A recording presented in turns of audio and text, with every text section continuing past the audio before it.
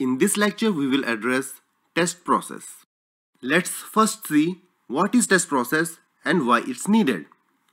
As of now, we know that there are seven test objectives and to fulfill these test objectives, each one of us will have a different idea. If we all apply our own ideas in an organization, then it is very difficult to control and it is less likely to achieve test objectives. And that is the reason we need common process which every one of us will follow as a guideline to achieve these different test objectives. In this syllabus, there are seven common test objectives which needs to be applied on any product.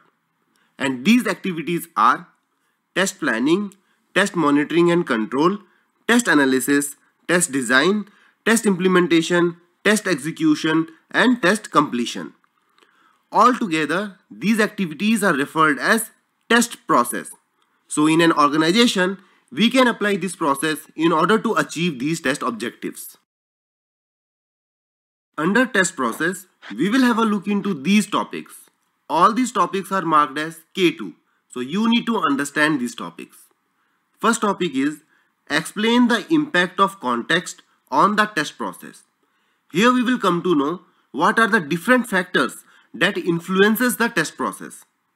Second topic is Describe the test activities and respective tasks within the test process.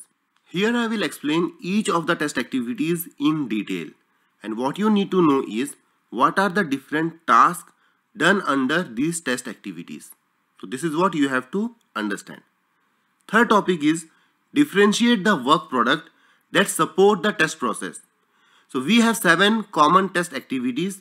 After each test activities, we will get the output which is referred as work product. In this topic, we need to remember which work product belongs to which activity. So that is what you have to understand. What are the different work product under these test activities? And the last topic is explain the value of maintaining traceability between the test basis and test work products. And here we will learn more about the traceability.